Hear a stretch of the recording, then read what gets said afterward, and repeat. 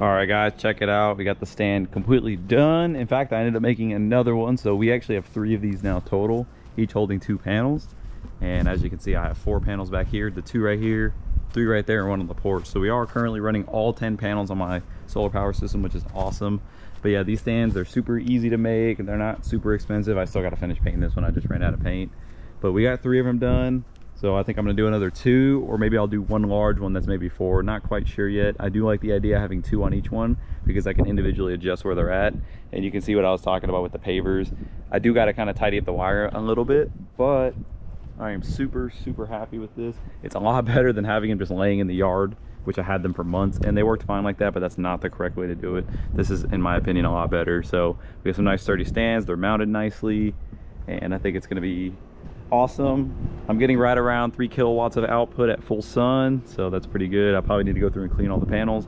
And like I said, we need to focus on this next, but I'm gonna leave this here just for now until I can get some more material. So probably here in the next couple weeks, we're probably gonna build two more stands and that's it. We'll be completely done. And then we can work on some better wiring. I need to work on a pass through to go in the house instead of using the window and that's it. So that's gonna do it for this small little video. I just wanted to show you guys my easy, simple way to do panel mounting. Let me know what y'all think. Is this gonna work? Is this gonna suck? In the winter it'll be interesting because the sun is so low in the sky. Will we will definitely keep track of how much power we make but as long as it's still within a realm of usability i'm not going to care too much as far as trying to adjust the angle but that's going to do it guys. Thank you all very much for watching. I'll catch you guys in the next one. All right guys so in the last video i showed you guys we got some new solar panels. Well now i'm sick of these things being on the ground so i'm going to show you guys how i built a really nice mount to put these on and there's kind of a spoiler what the mount's going to look like. I've already built one so i know what i'm doing a little bit. But anyways i'm gonna go in the garage I have two of my spare panels in the garage, and we're using those as mock-ups. I'm going to show you guys how we're going to build a really nice stand to put these on to keep them off the ground. So the basis of our stand is going to be some uh, 14 gauge 1 inch square tubing. I chose this up because it's about $1.50 a foot, so it's not extremely expensive, and it's also very strong. So to start the process out, I went ahead and laid two of the panels down, and then I put a bar this way and a bar this way right over where the mounting holes are. That way I can put some bracketry to hold them down. So I'd say we have two pieces there, then I cut two more pieces to connect them to make a box. So that's kind of where we're at right now. I did already make the legs as well. So essentially we're gonna make a table, almost like a table with legs and everything. We're gonna gusset it to give it some strength. We're gonna add a riser on the back to give the panel some angle and that's it. There's no adjustability in this.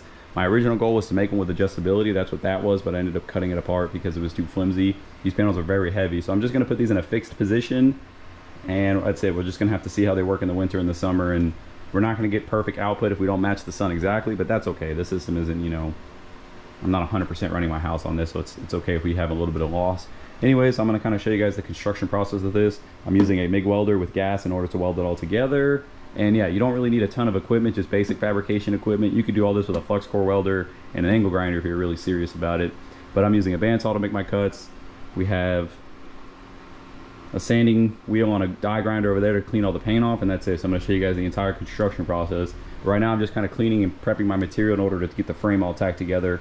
Once the frame's kind of tacked together and solid i'm going to lift the panels up off the floor put the frame down on the floor and we'll start finish welding everything. And i'll show you guys all that. I'll probably just put the camera up on a tripod and time lapse through it. It's pretty boring but i just want to kind of show you guys because i think it came out pretty good. The first one we did took us about six hours and I'm extremely happy with it. So anyways, without further ado, I'm gonna go ahead and get to work. Like I said, I'm over here right now just cleaning the ends off. Using this little Milwaukee tool and a little buffing pad just to get the paint off, that way we get better welds. So I'm gonna do it to all the legs. These are the legs.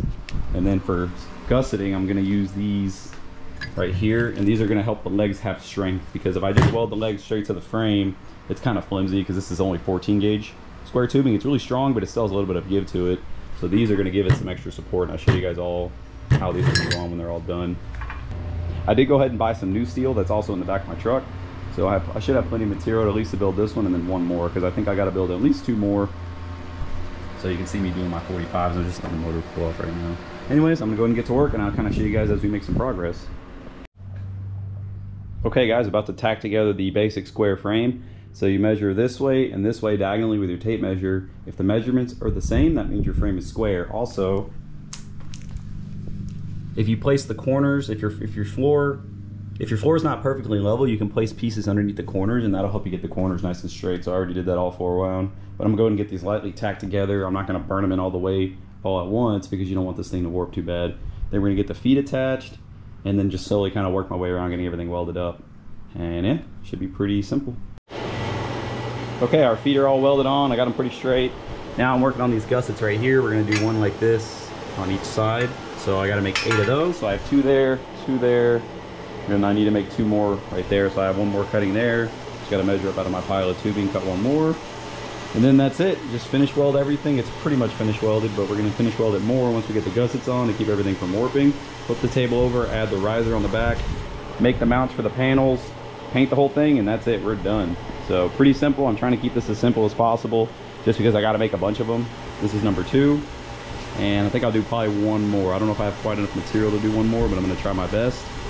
And I think I have to go get more black paint, but so far so good keep it simple don't got to go crazy on the design it just has to hold some panels securely and yeah so far so good i'll update you guys once i get more work done all right guys so the solar panel stand is pretty much done i just have to add the riser to give the panels the angle so i'm doing that right now and then we got to sand and paint it and that's literally it and then i still got to make the brackets to hold the panels on and i'll show you guys what those look like once i get those done okay so I think I said in the last clip, this thing's pretty much done. I got all the welding done. I did go ahead and buy some aluminum strip. So the idea is to cut these to about this size pieces, put two holes, and this will create a sandwich with the solar panels aluminum frame. And we're gonna put two bolts to clamp it to this and clamp it to the back part, and that's it. And then I bought some paint as well. So I'm gonna just give rough this thing up with a scotch pad in the backyard, of course, paint it, throw the panels on, and it'll pretty much be done. So once kind of I get the, all the mounts made, I'll get it all painted, show you guys what it's all painted, then we'll put the panels on and you guys will be able to see the final product. But simple is key here, guys. You don't want to put, put a ton of effort and time, especially if you're not sure how your design is going to go. But I'm really happy with this design. I don't think it costs a ton of money in materials and it only took, you know, a few hours. And you could do all this at home if you had a flux core welder and an angle grinder, I promise you. You don't need no fancy tools. Anyways, without further ado, I'm gonna go ahead and get a bunch of these. I gotta make eight different brackets and get 16 bolts for all eight brackets and yeah we'll be good to go so i'm gonna go ahead and get started on that all right i've managed to scrounge up enough hardware for our mount so now we're gonna head to the backyard luckily the other cool thing about this design is you can actually move it by yourself obviously when you put panels on it you cannot because those are extremely heavy but i can move this completely on my own so that's cool so i'm gonna get this to the backyard i'm gonna bring my Scotch-Brite my paint that way we can scotch it we can get it in place scotch it paint it slap the panels on and that's it we are done I guess step one is I need to pick these panels up because we're going to put the stand right here. So I'm to get these picked up, pick up all the stuff around it, get this area kind of prepped. I need to mow a little bit and then we're to start setting it up.